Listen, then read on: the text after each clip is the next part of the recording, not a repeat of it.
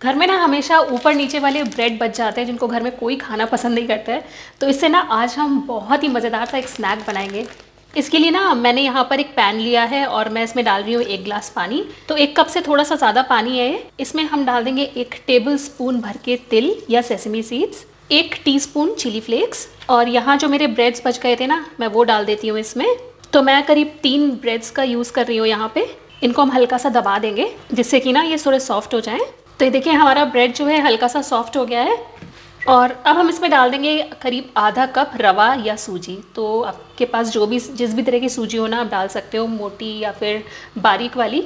साथ में डाल देंगे हम टेस्ट के अकॉर्डिंग नमक और बस इन चीज़ों को बहुत अच्छे से मिला के इनका एक डो टाइप का तैयार कर लेंगे। तो अच्छे से मिलाइएगा जिससे सूजी और जो ब्रेड है ना, आपस में घुल मिल जाए। तो ये देखिए, मैंने सभी चीज़ों को अच्छे से मिला लिया है। इस टाइम पर ना हम इसमें करीब एक चम्मच तेल डाल देंगे। और इसको फिर से अच्छे से मिक्स कर लेंगे। तो इसको बहुत ज़्यादा भूनने की ज़रूरत नहीं है। बस मिक्सचर को अच्छे से गाढ़ा करना है हमें। और यहाँ पे ना मैंने आटा ब्रेड यूज़ की है। आपके पास जो भी ब्रेड हो, आप इस रेसिपी में इस्तेमाल कर सकते हो। तो ये देखिए, हमारा मिक्सचर बिल्कुल तैयार है। इसने पैन के एजेस छोड़ने शुरू कर दिए हैं। तो हम गैस को ऑफ़ कर देंगे। पैन को कवर करेंगे और पाँच मिनट के लिए इसको ऐसे ही छोड़ेंगे। आइए तब तक स्टफिंग बनाते हैं। स्टफिंग बनाने के लिए यहाँ मैंने तीन उबले हुए आलू लिए हैं और हम इनको हाथ से इस तरह से तोड़ लेंगे। स्टफिंग आपकी चॉइस की ना कोई भी हो सकती है। आ, मेरे पास उबले हुए आलू रखे थे तो मैं फटाफट इसकी स्टफिंग तैयार कर रही हूँ। तो ये देखिए आलू को मैंने थोड़ा सा मैश कर लिया है और अब मैं इसमें डाल रही हूँ थोड़ा बारीक किया हुआ प्याज। अगर प्याज खाते हैं तो डालें नहीं खाते हैं तो छोड़ भी सकते हैं। इसमें डाल देंगे हम ढेर सारा हरा धनिया और साथ में डालेंगे कुछ मसाले। तो सबसे पहले मैं डाल दूँगी इसमें थोड़ा सा नमक आधी टीस्पून के करीब लाल मिर्ची का पाउडर एक चम्मच भर के धनिया पाउडर, एक चम्मच अमचूर पाउडर या खटाई पाउडर और थोड़ा सा एकदम गरम मसाला और इनको बहुत अच्छे से मिक्स कर लेंगे। तो आज ये स्टफिंग ना मैं बिना भूने बना रही हूँ तो आप इसको भून के भी बना सकती हो। मैंने देखा टेस्ट में ना बहुत ज़्यादा अंतर नहीं आता है और मुझे ये ना फटाफट बनाना है, इसलिए मैं बिना भूने बना रही हूँ। तो ये देखिए मसाला बनकर बिल्कुल तैयार है। अब हम क्या करेंगे, अपने हाथों में ना हल्का सा तेल लगा लेंगे, जिससे कि मिक्सचर हमारे हाथों में ना चिपके और थोड़ा थोड़ा मिक्सचर लेके हम इसके ना स्क्वायर्स तैयार करेंगे इस तरह से।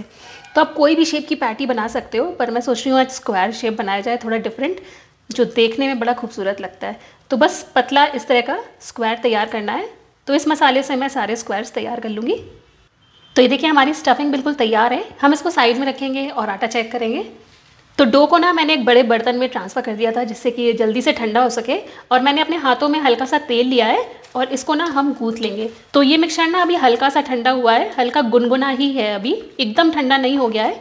तो इसी स्टेज पे हमें इसे अच्छे से गूँथ लेना है, जैसे कि हम रोटी का आटा गूँथते हैं ना, बिल्कुल उसी तरह से। और अब हम क्या करेंगे ना, इसकी छोटी छोटी इस तरह से लोइयाँ बना के तैयार कर लेंगे।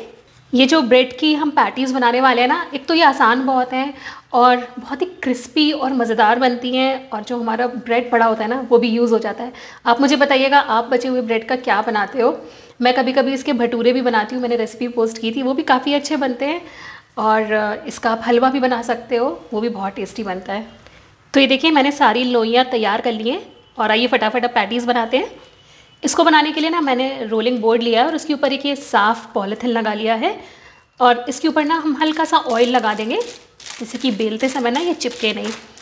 और बस हम अपनी एक लोई लेंगे और ना इसको हमें बेल लेना है। तो अगर आपके पास रोटी मेकर है ना तो ये काम बहुत फटाफट हो जाएगा। अगर आप इनको कचौरियों जैसे बनाना चाहते हो ना तो जैसे सिंपल कचौरी भरते हैं, आप उस तरह बना सकते हो। पर आज है ना, हम इनको बिल्कुल अलग तरह से बना रहे हैं। तो बस ये देखिए, मैंने इसको काफ़ी पतला बेल लिया है और जो स्टफिंग हमने तैयार की थी ना, हम इस तरह से इसके सेंटर पे रखेंगे और ये देखिए, इस तरह से फोल्ड कर देंगे इसको। तो फोल्ड करके अच्छे से चिपकाते जाएँगे, जिससे कि ये फ्राई करते समय ना खुले नहीं। और ये ना काफ़ी सॉफ्ट होता है डो तो बस हम हाथों से दोबारा से इसको अच्छे से शेप दे देंगे। तो ये देखिए मैंने सारे पॉकेट्स तैयार कर लिए हैं और आइए इनको अब फ्राई करते हैं। इनको फ्राई करने के लिए मैंने पैन में यहाँ ऑयल गरम किया है और बस हम इन पॉकेट्स को इसमें डाल देंगे। आप चाहो तो ना इसको एयर फ्राई भी कर सकते हो या फिर मेरी तरह आप इसको शैलो फ्राई भी कर सकते हैं। तो बस हमें क्या करना है ना, इनको उलटते पलटते हुए एकदम गोल्डन ब्राउन और क्रिस्प होने तक सेक लेना है। तो ना बहुत ही मज़ेदार और टेस्टी स्नैक बन के तैयार होता है। तो एक बार ट्राई करके ज़रूर देखिएगा। तो ये देखिए, हमारी पैटीज़ बनकर बिल्कुल तैयार हैं। अच्छे से सीख चुकी हैं तो बस हम इनको निकाल लेंगे। तो ये देखिए, हमने बची हुई ब्रेड से कितनी जल्दी से बहुत ही यमी और टेस्टी नाश्ता तैयार किया है। तो आप इसको केचप या चटनी किसी के साथ भी सर्व कर सकते हो। मैंने थोड़ी सी हरी चटनी बनाई है, इसके साथ ही खाने में बहुत बहुत टेस्टी लगते हैं। तो ट्राई करिएगा आप भी और हमें फीडबैक में ज़रूर बताइएगा कि आपको आज का वीडियो कैसा लगा। अगली बार आपसे फिर मुलाकात होगी एक नए वीडियो के साथ। तब तक के लिए टेक केयर एंड बाय